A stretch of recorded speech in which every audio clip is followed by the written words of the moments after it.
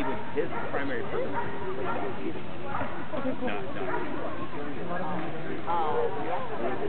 yeah, that'd be cool. He'd appreciate that. That'd be, cool. I'll tell Helen. You here tomorrow? The exhibitors